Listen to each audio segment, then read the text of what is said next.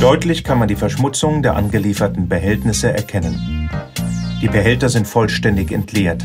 Anhaftende Rückstände sowie Papieretiketten sind Störstoffe, die in der neue Herbold-Aufbereitungsanlage entfernt werden. Nach dem Entladen des Trucks werden gegebenenfalls Packmittel wie Paletten entfernt.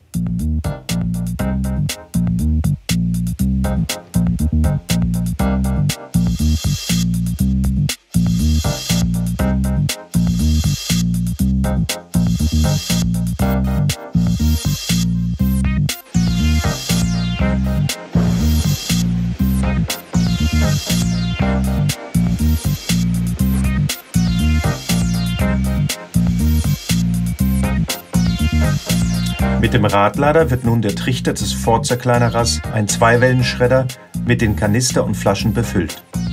Der Schredder arbeitet sieblos. Er schneidet die Behälter in Streifen von maximal 10 x 30 cm. Das Schreddergut fällt auf einen Gurtförderer. Manuell werden größere Fremdstoffe, zum Beispiel aus PC und LDPE, aussortiert. Eine Metallsuchbrücke kontrolliert den Materialstrom auf den Gurt und stoppt, sobald Eisen oder Nicht-Eisenmetalle erkannt werden. Der Gutförderer transportiert das Schreddergut in die neue Herbold-Nassschneidmühle der Baureihe SM. Der Maschinentyp besitzt eine spezielle Gehäuseabdichtung und kann gegebenenfalls mit auswechselbaren Verschleißplatten versehen werden. Das Schreddergut wird zusammen mit bis zu 5 Kubikmeter Wasser pro Stunde in den Mahlraum der Schneidmühle befördert und auf eine Korngröße kleiner als 15 mm gemahlen.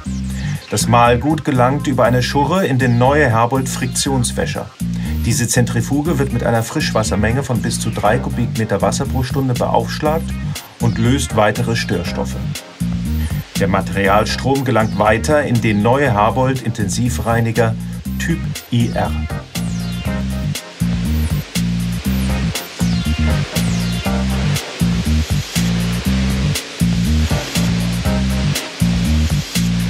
In diesem Prozessabschnitt werden nun die Anhaftungen sowie die Papieretiketten zusammen mit dem Prozesswasser abgeschieden.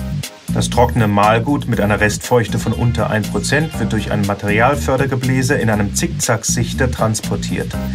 Dieser Fallstromsichter trennt das Mahlgut in eine LDPE und eine HDPE-Fraktion. Pneumatische Förderanlagen transportieren die Fraktionen in Abfüllstationen.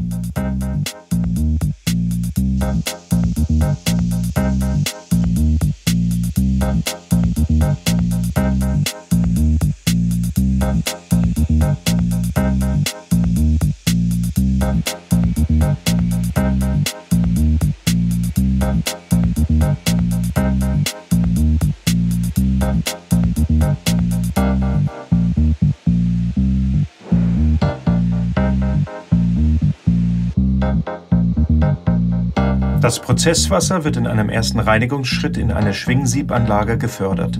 Hier werden die abgeschiedenen Rückstände der Etiketten im Anschluss entsorgt